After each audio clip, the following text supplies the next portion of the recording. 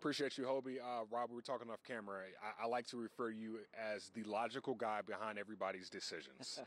and the decision was made recently that Kevin O'Connell is the new head coach. Your thoughts being a part of that process? Man, it's all about the people, first of all, and it's just evident what a great person he is. Obviously smart. Um, but what really impressed me was uh, you know a clear vision and a detailed plan, and uh, we're in good hands between him and Kwesi, no doubt it, when you listen to that interview, when you listen to the press conference earlier, it, it, doesn't do anything but energizes you. Yeah. What kind of energy do you think that'll bring this team? Well, you know, I think hope, you know, and, and maybe it's a renewed hope. And I don't mean that from a standpoint that we didn't accomplish a lot of really great things, but um, I think there's just a lot of excitement and hope, you know, for the future and and uh, determined to get this right and win a world championship.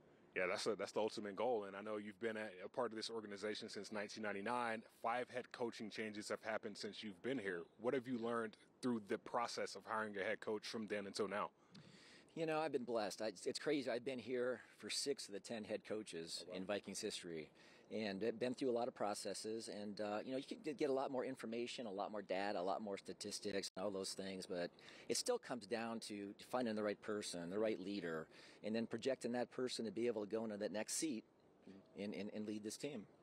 I know you know you have to look at it from an object objective standpoint. You know, hey, this these are the points we want to hit. But from a you know personal standpoint, what what have you learned just through this search process?